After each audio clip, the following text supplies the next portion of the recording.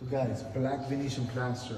It's a super modern color, guys. If you see how it looks, this is a shiny black Venetian plaster with a clear wax on it. It's a super beautiful look. If you notice, there's uh, whitish, grayish floors. The whole house is white and the black just pops.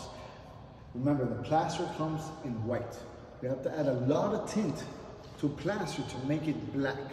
Thus, it costs more in the bucket to make.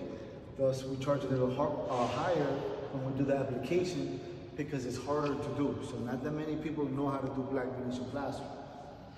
This is a special case of beautiful walls, huge walls, beautiful staircase, spiral staircase. That's not that easy to do, especially in black. So thus, black is a crucial color. You have to be a professional knowing what you're doing with black Venetian plaster. And this beautiful, beautiful look. I love it when my clients are bold enough to get a black Venetian plaster or deep red or deep blues. I love it because not that many people do. You have to be bold enough to do it. Yeah, let's do black walls, let's do red walls. So thus, I'm happy my clients want it. And look how beautiful it looks. So don't let colors discourage you for client purposes or, or, or selling purposes or anything.